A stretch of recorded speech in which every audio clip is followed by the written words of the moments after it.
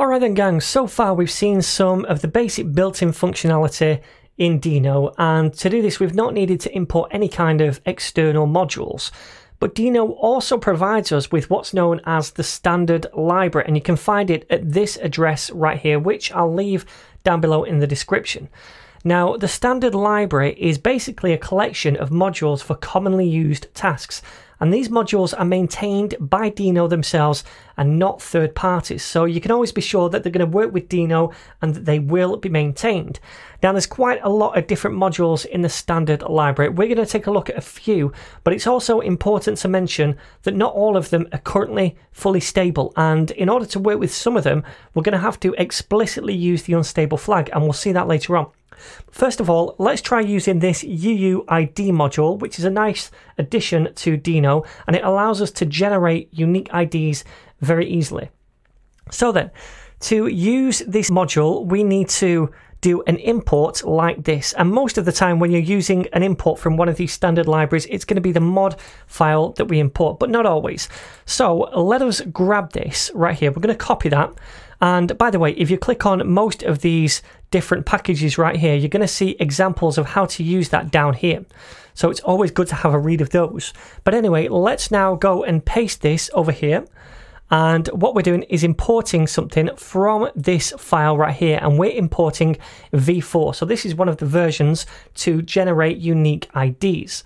So now, if we run this file, it's going to download this package right here and it's going to cache it for our project. So it stores it away on our computer, but not inside a node modules folder over here.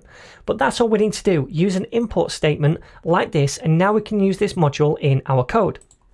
So to generate something, a UID, all we need to do is say const and then we'll call this UID. You can call it what you want, it really doesn't matter.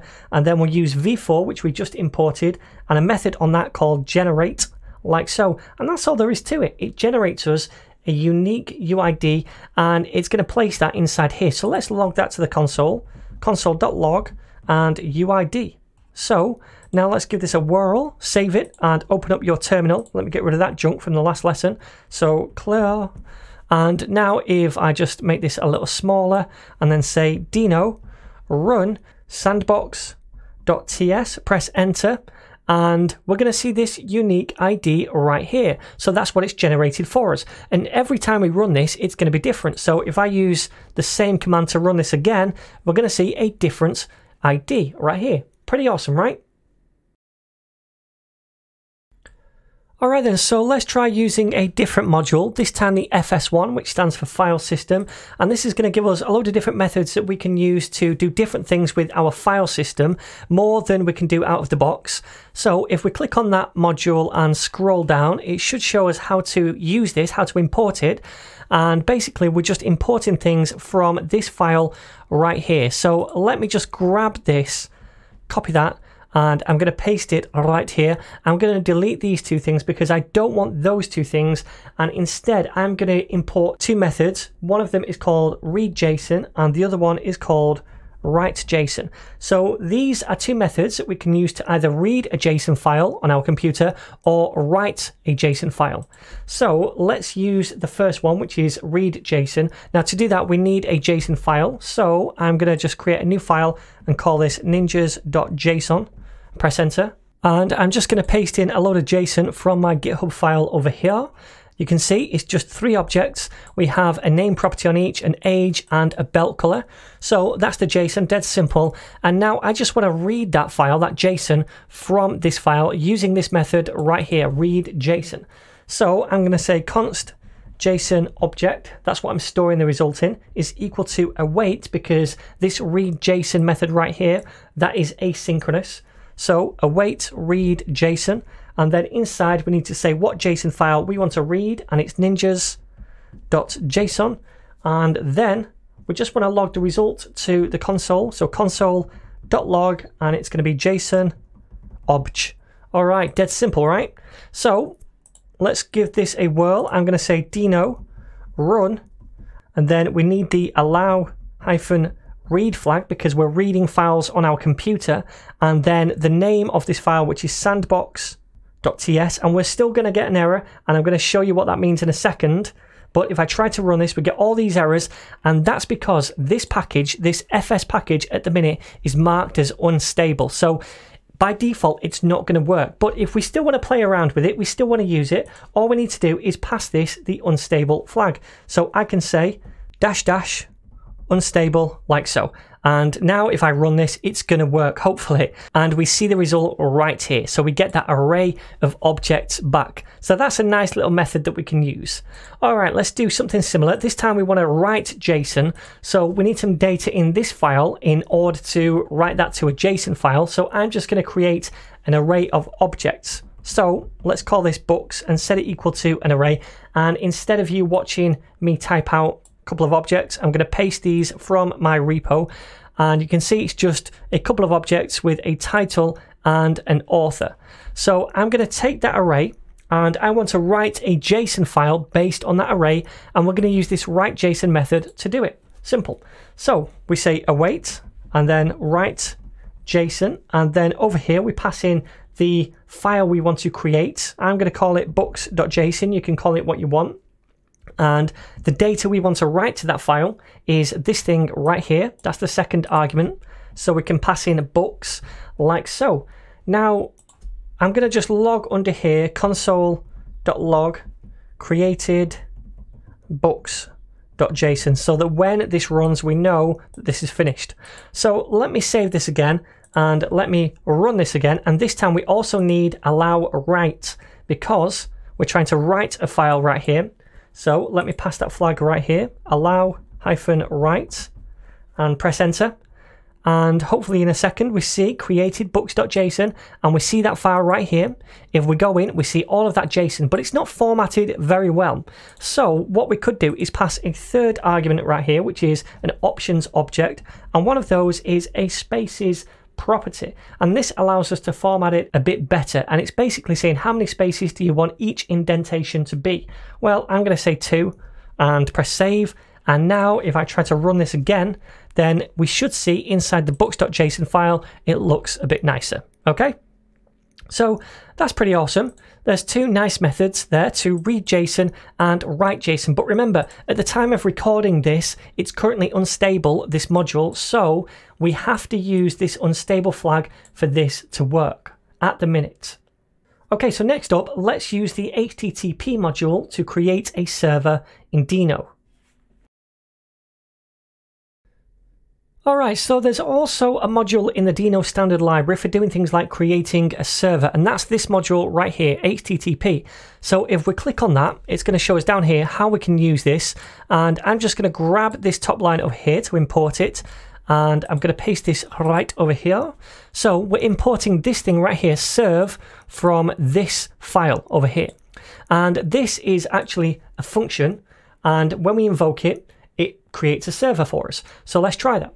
I'm going to say down here const serve is equal, or rather we'll call this server, is equal to serve, and then we invoke this, and then we pass in an object as an argument, and the property inside this object we need to create for now is the port property, and that's what port number we want to listen to.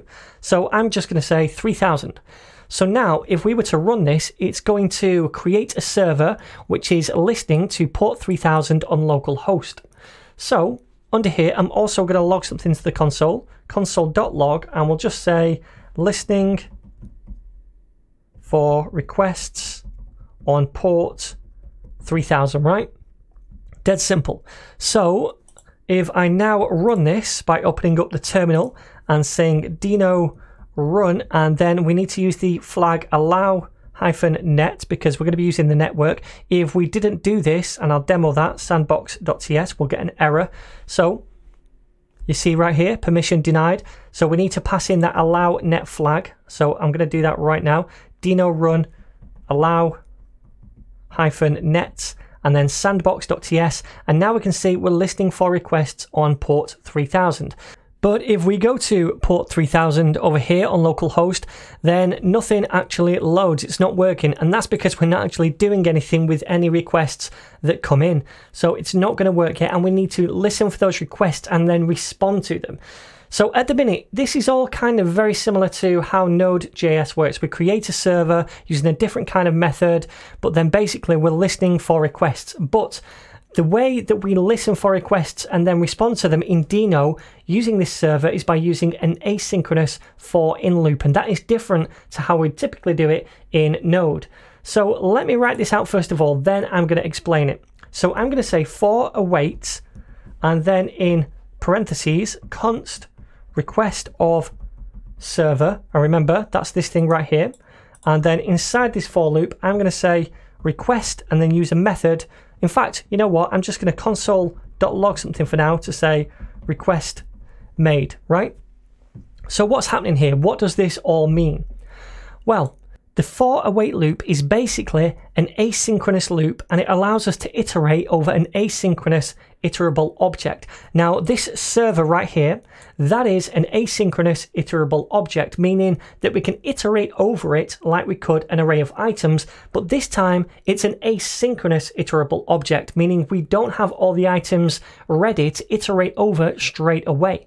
So once this loop is first registered, it essentially awaits request items to come into the server.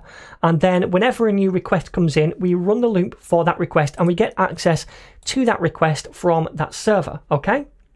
So now if I save this and come back over here and refresh, if I go to the console over here, oops, my mistake, I need to run this first of all. So now let me press up and enter to run this file. Now we're listening for request on port 3000. If I now come to refresh over here, we should see request made, right? And if I stop and refresh again, we should see another request made. Now we don't just want to do this, we want to actually respond to the request and send something to the browser, right? So how do we do that? Well, we can say request rec, which is this object right here, and this represents the request that comes in. And then we can use a method on that called respond, and that sends a response to the browser. Now inside here, I'm going to pass in an object and then I'm going to specify what the body of this response should be. And I'm just going to send back a string. Now I'm going to use a template string because in a minute I'm going to output a dynamic variable inside this. But I'll say hello ninjas and then save it for now. So if we now go over here, in fact, we need to cancel out of this process because we've made a change to this file. So let me cancel out of the process, run the file again. And now if we go over here and if we refresh, we already saw it, but if we refresh, now we're getting this response back from our server. So the request is coming in and it's handling that request by sending this response and the body of that response is this string which is coming back to the browser over here. Awesome. Now that we can get other information from this request object. So I could get, for example, the URL of the request. So what I'm going to do is say const URL is equal to request dot and then you see we have these different properties right here that we have access to. I'm going to grab the URL. So whatever we visit up here, if it was forward slash about, then the URL would be forward slash about. And I'm going to come down here and I'm going to output this URL inside this template string. So I'm going to say you visited, and then the way we output a variable inside a template string is the dollar sign, curly braces, then the name of the variable. So URL in our case, save that and come over here, refresh, and oops, we can't do that because again, we need to restart the server. I often forget that. So we need to say deno run allownet sandbox.ts then come over here and refresh. And you can see hello ninjas you visited just forward slash which is the root of the address. But if we go to for example forward slash about then we can see forward slash about. And this is going to be the same for whatever url that we go to forward slash about us. And we can see forward slash about us right here. So then you could if you wanted to evaluate this url on every request that comes in and then we could send a different response back to the browser for each different URL that is requested. And you could use this approach to set up some kind of API. But there's also third party packages to help us create Deno APIs and websites too. So I'm going to be showing you how to use one of those in probably a couple of tutorials time. But first of all, let's learn about how to use third party packages in general with Deno in the next video.